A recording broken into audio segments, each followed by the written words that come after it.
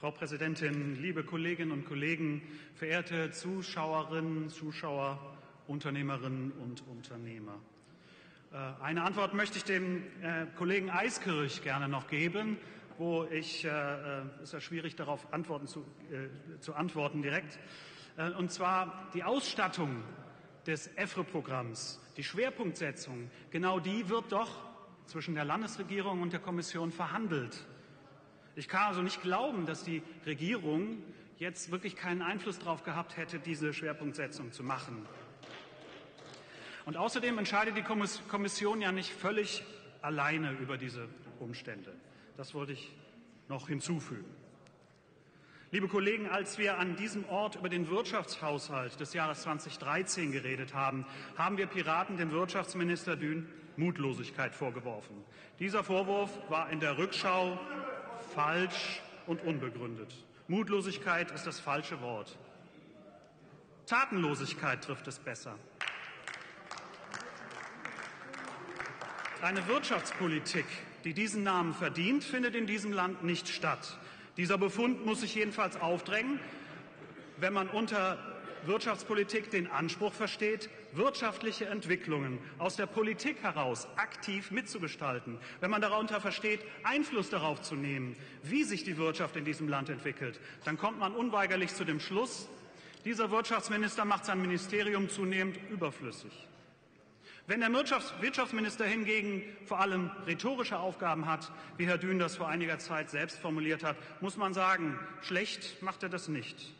Wir finden allerdings, dass sich Regierungspolitiker an ihren Taten messen lassen sollten. Und da erkennt man schon aus der Ferne, es gibt nicht allzu viel zu sehen. Nun, es ist definitiv nicht so, als würde das Wirtschaftsministerium nichts tun. Im Gegenteil. Es kümmert sich verlässlich um die Durchleitung von EU- und Bundesförderungsmitteln. Das ist eine wichtige Aufgabe. Schließlich besteht quasi die gesamte Wirtschaftsförderung des Landes in der Verteilung dieser Gelder. Doch auch hier wird deutlich, mit bewusster Gestaltung hat das nichts zu tun. Wenn es Geld von der EU gibt, dann freut sich Herr Minister, und wenn nicht, dann halt nicht. Wenn wir angeregt haben, sich bei den Verhandlungen über EU-Fördermittel für bestimmte Themen einzusetzen, und ich sprach die Breitbandförderung schon an, die, die, der Breitbandausbau, der in Nordrhein-Westfalen wirklich katastrophal langsam ist, dann haben wir von Minister Dün dazu nur ein Achselzucken. Aber halt, ich tue dem Minister Unrecht. Beim Breitbandausbau ist Bewegung zu spüren. Denn der Minister hat vor etwas über einem halben Jahr tatsächlich angekündigt, unverzüglich einen runden Tisch zu diesem Thema einzuberufen. Bei der sonstigen Tatenlosigkeit wird einem ja dabei fast schwindelig.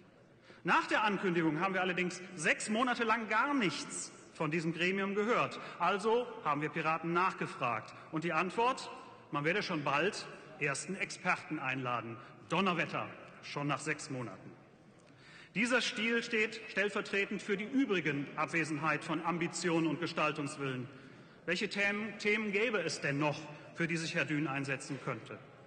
Da wären zum Beispiel landeseigene Förderprogramme, also die Programme, die das Land ausschließlich alleine finanziert. Hier hätte das Land Möglichkeiten, eigene Impulse zu setzen, unabhängig von den anscheinend so strengen Vorgaben aus Brüssel. Und gibt es diese Schwerpunkte von Herrn Minister Dün? Raten Sie mal. Wie wäre es mit der von Politikern so wortreich beschworenen Kreativwirtschaft? Das Wirtschaftsministerium hat vor gar nicht allzu langer Zeit eine Studie zu diesem Thema erstellen lassen, den Kreativreport NRW. Die Studie ist gelungen, die Analyse präzise. In NRW gibt es im Bereich Kreativwirtschaft noch echte Schätze zu heben. Hier liegt enormes Potenzial für Wirtschaft und Beschäftigung. Nicht zuletzt, weil Impulse aus der Kreativwirtschaft eben weit in andere Wirtschaftsbereiche hineinstrahlen. Ich vermute, Herr Minister Dün würde mir dabei zustimmen. Aber Herr welche Konsequenzen?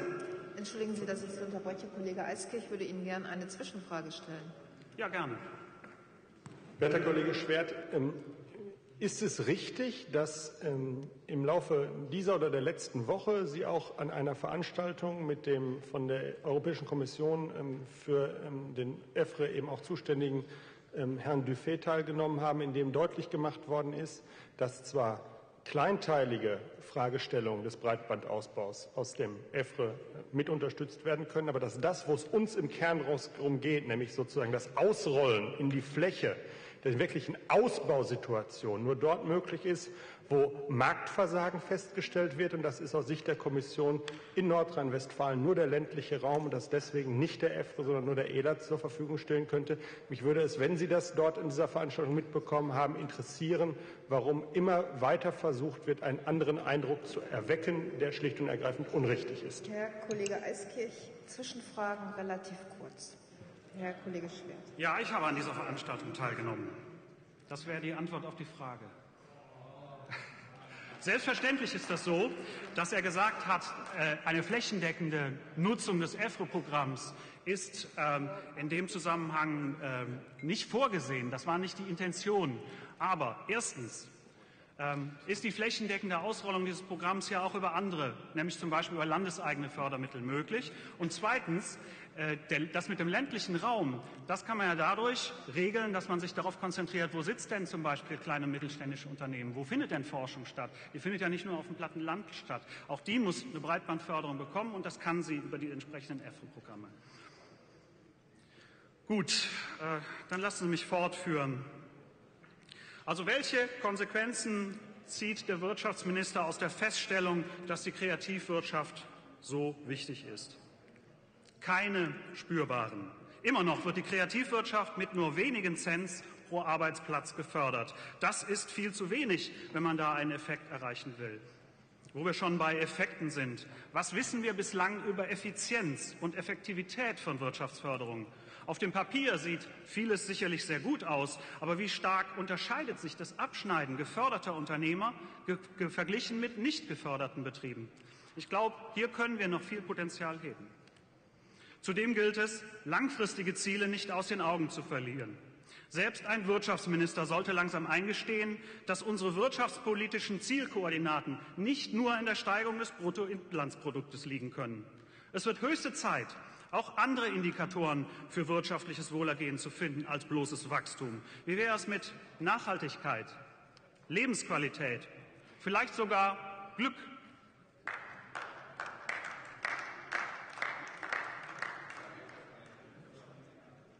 Ja, gestatten Sie mir da ein bisschen Gutgläubigkeit. Der Wirtschaftsminister könnte hier vorangehen. Er könnte richtig Politik machen. Er könnte in seinem Ministerium Pläne entwickeln und Ideen, wie wir in Zukunft leben wollen, wie wir in leben können, wenn wir die Grenzen des Wachstums erreichen. Denn eins ist klar, unbegrenztes Wachstum ist nicht möglich. Sie sehen also, es gäbe eine Menge Möglichkeiten und eine Menge Themen, mit der man zukunftsorientierte Wirtschaftspolitik machen könnte. Ich kenne den Grund nicht, warum das nicht passiert. Ich stelle fest, bisher hat sich sein Ministerium in erster Linie als Verwaltungsapparat betätigt. Es fehlt der Wille, dicke Bretter zu bohren. Stattdessen beschränken wir uns also auf die Durchleitung von Fördermitteln. Das ist aber keine Politik, das ist Verwaltung. Ein Wirtschaftsministerium, was nur noch Verwaltungsministerium ist, macht sich überflüssig.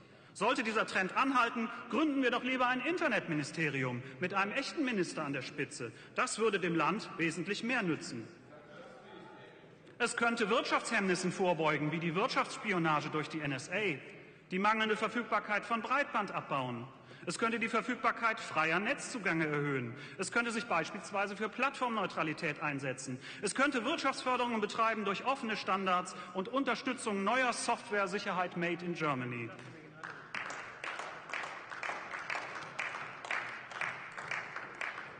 Für die Durchleitung von EU-Fördermitteln gründen wir dann ein Durchleitungsamt. Das haben die Beamten dort mit Sicherheit gut im Griff.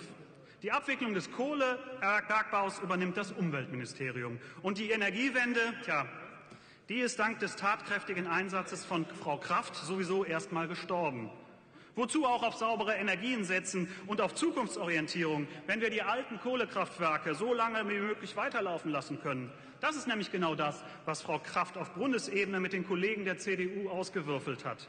Spiegel Online zitierte dazu einen Lobbyisten der Kraftwerksbranche, der sagte, Frau Kraft macht gerade meinen Job.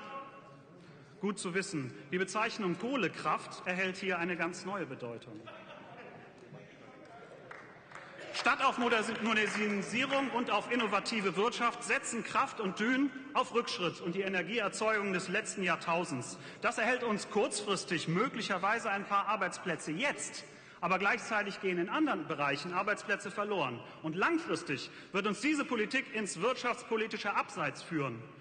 Immerhin, das ist natürlich auch eine Art Wirtschaftsförderung, aber keine, die wir gutheißen können. Ins Abseits sollten wir uns nicht stellen. Herzlichen Dank.